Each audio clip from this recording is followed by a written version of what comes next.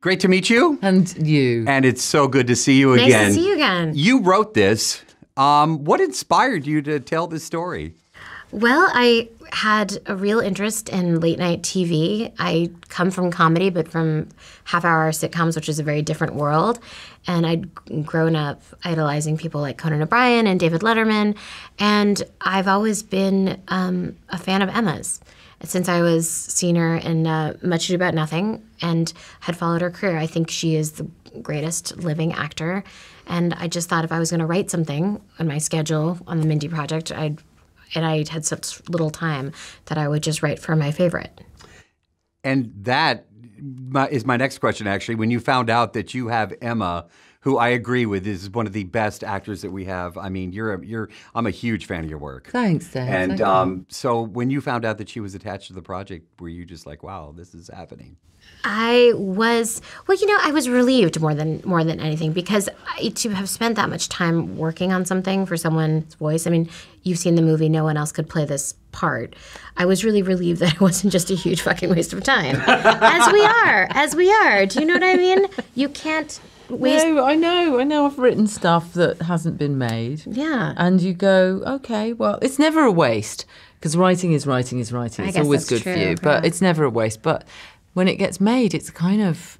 It's kind of amazing. And this is, Mm-hmm. we're lucky, both of our first screenplays have actually been made Mm-hmm. into good movies. That's a miracle in itself that we've got that to share. I'd forgotten about that actually. That's that was true. just occurred to me. We both Wow. started in sketch comedy, did stand up for a little while, you know, so we have, we're connected by far more than, Than, than that. than Yeah. one might think. Right. How different of a role is this than anything you've played? What makes this special for you? I mean, what's so special about it is it's so authentic and funny that it's a woman who's had a very powerful job for 30 years, which is, um, well, has never happened in this world. It's science fiction in that sense. Um, that, you know, I could embody something that made me feel very free and powerful. And and I think the thing I enjoyed most was being able to be rude to people. And there was no consequence really. Although of course there are consequences for a great deal of Katherine's less attractive behaviour. Um, I loved it because she was entirely human entirely relatable and understandable. Um, and uh, in many ways quite admirable as well as being you know a flawed flawed old baggage as well. I related to that most of all. You're so funny. um, it's a comedy, and it's really funny. Thank you. But it also has pretty good points that come across. Um, that was important for you to tell in the story. you know, those were.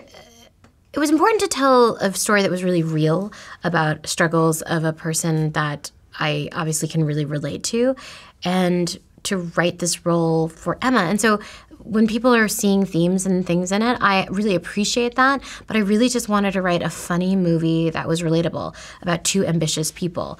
Because we're women, I think that that itself feels like a political act when people watch it. And I think it seems unusual. So I'm, I'm happy because people seem to be talking a lot about what the movie's about, which is all you can hope for. But at the time, they just are watching it, enjoying it, and laughing. So all of these are kind of afterthoughts. Do you know what I mean? It's mm-hmm. not. It's never hit it. That's one of the things I appreciated most about the writing, is that it's so lightly, the satire so lightly